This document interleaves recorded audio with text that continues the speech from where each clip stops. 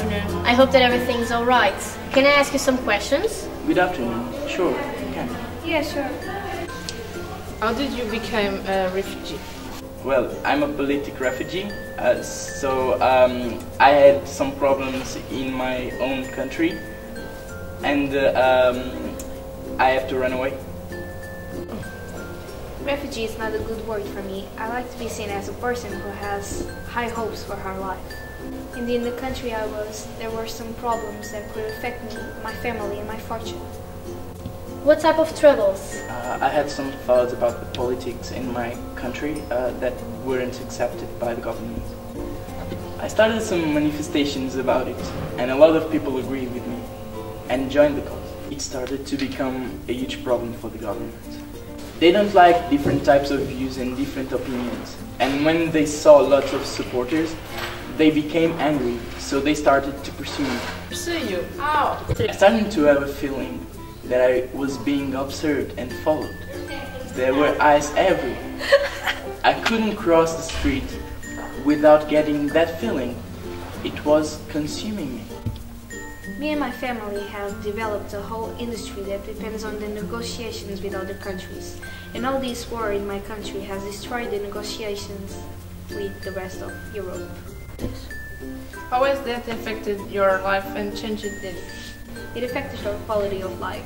We were used to a certain level of living, and completely off of the blue, the whole situation changed. As you imagine, it wasn't good feeling.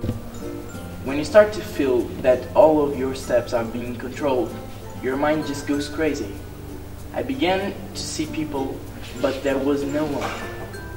The fear of finding someone around the corner that would hurt me, or worse. It's just terrifying. What made you finally leave? They shot me in a manifestation.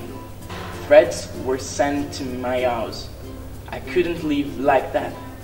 So I got a passport and I ran away. The situation was no longer acceptable. No one deserves to be treated like that. In fact, my family wasn't willing to live in such conditions. We wanted more. That's why we decided to leave and find a country where our voices were listened and our interests were defended. Do you feel like the humanity is forgetting about all the rights it has established?